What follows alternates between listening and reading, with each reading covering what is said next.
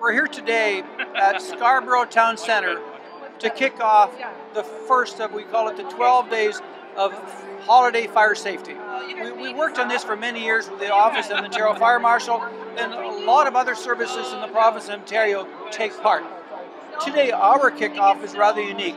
It's unique because we're doing it in a mall and we're doing a, a theme where we have 101 fire prevention and public education officers and they're giving out packages to 1,010 of our citizens here at the mall today.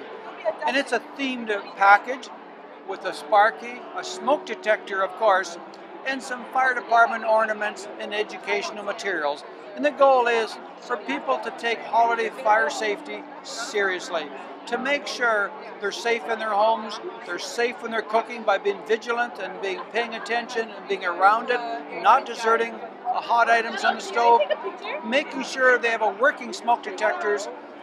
As we said last year, hear the beep where you sleep is it important, as well as carbon monoxide detectors on every level that you have sleeping quarters. So it's really important to be safe. Education and prevention so we don't have to send those big red trucks. That's the goal. So this is a wonderful time for us to enjoy with our families. It's a time to have a positive result not a negative result. So be careful, be cautious, and enjoy a wonderful holiday season.